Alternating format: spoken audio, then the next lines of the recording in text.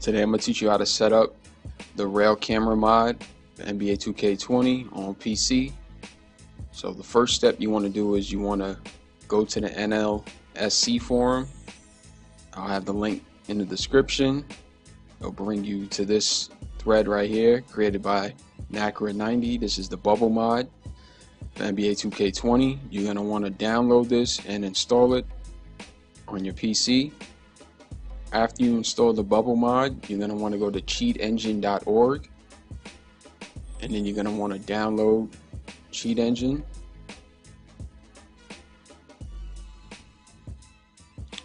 You're going to open up the download and you're going to want to install it on your PC. So I already have it installed, so I'm not going to go through the steps again, but just install it like you install any other program. After you install Cheat Engine, you're going to go to the next link in the description which is the MediaFire link for the Railcam. And you're going to select download. It's a zip file. It's about 135 megabytes, so it should download pretty quick. After you download the zip file from the MediaFire link, it should be called Railcam v3.zip. You want to find it on your computer, open it up, and then drag all the files in there into any place on your computer. It could be any type of folder, or anything. I'm going to drag it onto the desktop. I have a folder in my desktop that I'm going to drag it into so I know where it's at when I get to those steps where I need it. Then you can X out the zip. So right now in this folder I have all the files from that zip here to use. Now you want to go to where you have NBA 2K20 installed on your PC. So for me I have it in the iDrive. You can have it in any other drive on your computer. So find where you have it installed at. And then you're going to drag this NBA 2K20.exe file. And you're going to drag it right here. Not into your Wagyu folder. You're just going to drag it right here in the, in the root of the NBA 2K20. And then you're going to replace the file. I already have it in there, so I'm not going to do it again. Next, you're going to drag this s whole new game.if file into your Wagyu folder and then you're going to replace the file just like you replaced the other one. So NBA 2K20.exe is just going to go into your root right here and this whole new game.if is going to go into your Wagyu folder. And you're going to replace whatever it says to replace. Next, you're going to want to launch NBA 2K20. You're going to go to play now. You're going to go to 2KU. You're going to go to freestyle and then you're just to select any team. I'm to select the Raptors. Doesn't matter what team you pick. Press A on that.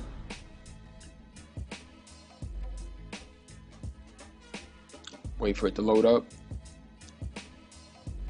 Alright, now you should just be in the bubble right here. And now you want to hit Alt and Tab on your keyboard to minimize the game so you can go back to your desktop just like I'm doing right now. Alt tab. Once you alt tab into your desktop, you're going to want to open up Cheat Engine. That should have been the first step you've done. You installed it on your computer, so find where you have it installed, open up Cheat Engine. It should look like this. It should be blank screen. You're going to want to select the magnifying glass in the top left right here. And then you're going to select NBA 2K20. Hit open now you're going to select the folder up here and you're going to find where you have that Railcam V3 folder at. I have it here and you're going to select the camera.ct that's in that folder. So the MediaFire zip file that you downloaded is going to have a camera.ct in it. You're going to want to find that and hit open in Cheat Engine. If you've done it correctly, this should pop up, camera gameplay settings. You want to tap the box and then you want to scroll down to where it says side. You want to select side. You want to select this question mark. You want to select the points to and then you want to select where it says 2K parameters 16 by 9 and then you want to select right under it also and then a bunch of values will pop up.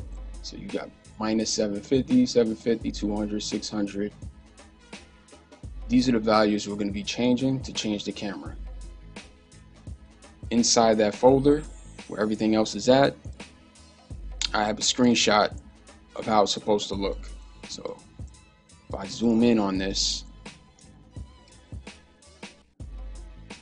the first one is a thousand. Right here it says minus 750. You're gonna want to change it. So you're just gonna click it.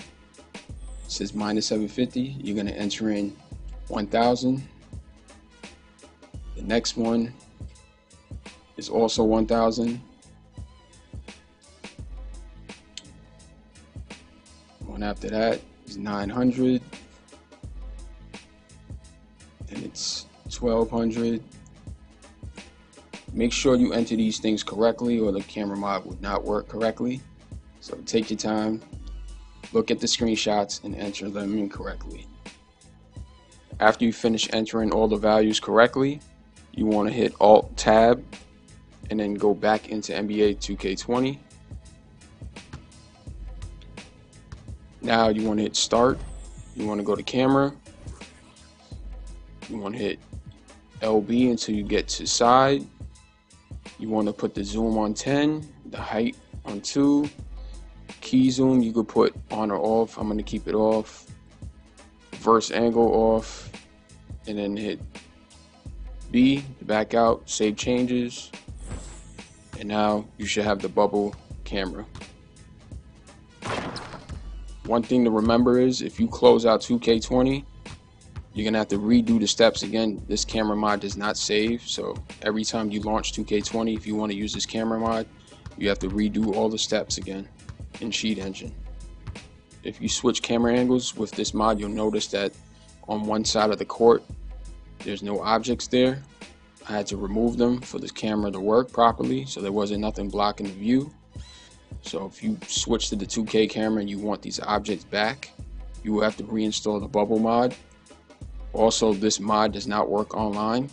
So the .exe file that I gave you is 1.05. That's an older 2K version.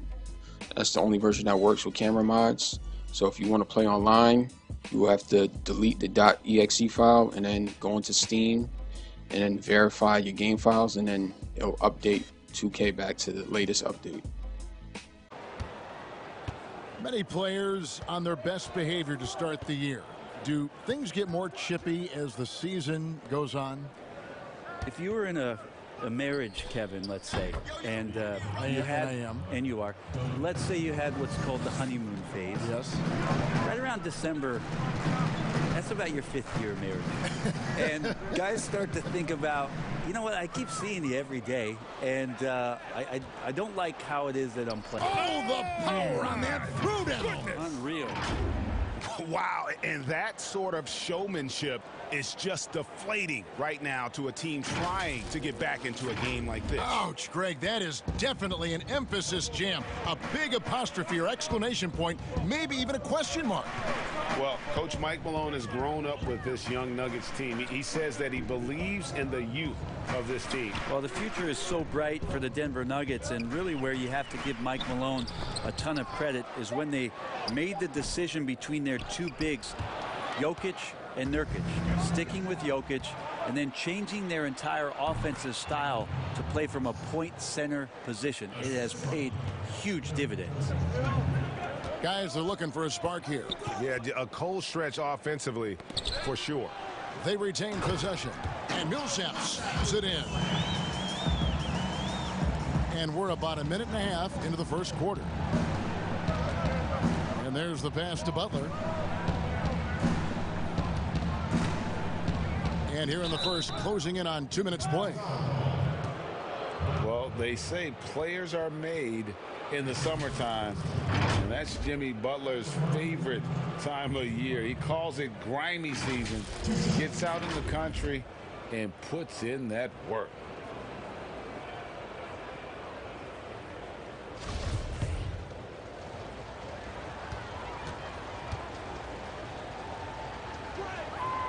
Free throw, good Butler. And Greg, those summertime workouts for Butler, they are something. I mean, they sure are. He he calls them bandanas and buckets. Grows his hair out, two a days, hot yoga, intentionally isolated from the hustle and bustle of the big city. It gives him an excuse to really just lock in. That one is no good. And the Nuggets franchise still looking for their first trip to the NBA Finals.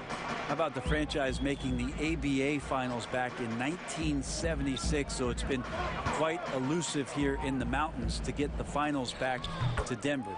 40 years ago, still looking for that trip. A good decision making with the ball in his hands for Paul Millsap. That's a terrific beat. Outside Robinson.